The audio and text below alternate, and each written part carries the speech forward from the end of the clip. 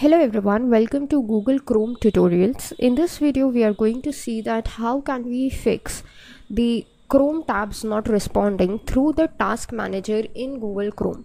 So we have a Windows based task manager that basically allows us to end the processes. But if there are few tabs in Chrome that are not responding or are buggy and you want to end those tabs, so how can you do that? So instead of closing the whole program of Chrome, you can actually close those tabs. For this, we have a task manager that is inbuilt in Google Chrome. So let's see how do we access this. To access it, you first need to open your Chrome browser and go to these three dots.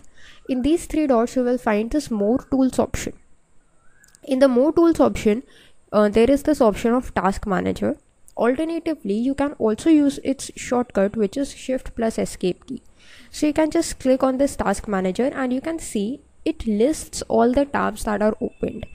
In case you are using multiple profiles with your chrome then all the tabs that are opened across all the profiles are being shown over here. Like this ec2 management console that i have opened on another profile is also being shown over here. Apart from this it shows you all the extensions that have been added. If you want you can maximize it as well.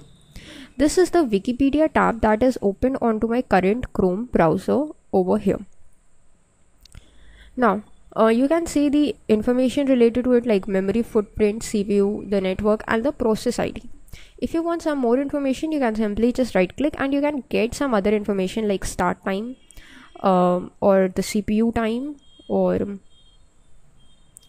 uh, image cache and everything.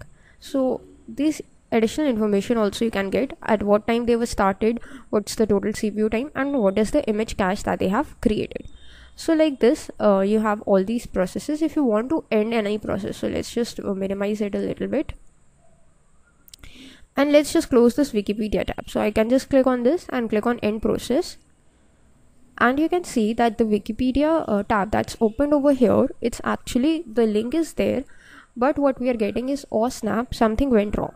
So this is how we close any unresponsive tab onto our Chrome using Task Manager. That's all for this video. Thanks for watching.